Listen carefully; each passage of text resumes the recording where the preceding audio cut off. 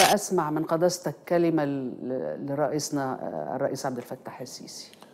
آه، سيادة الرئيس شخص أوجده الله في زمن ووضع في قلبه مسؤولية كبيرة جدا وكان ممكن آخرين في مكانه ما يقدروش يتحملوها.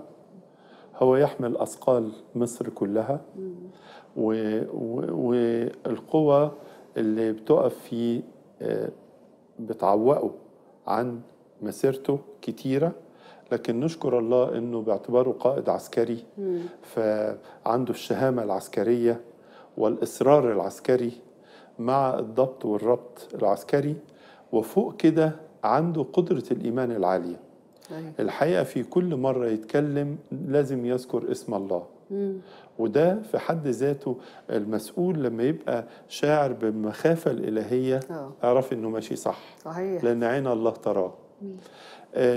في السنوات القليلة اللي هو مسؤول فيها أنجز إنجازات عظيمة جدا. أنا كمواطن مصري يعني أحييه وأقدم له كل التقدير. مصر في حاجات ما شافتهاش في هذه الإنجازات.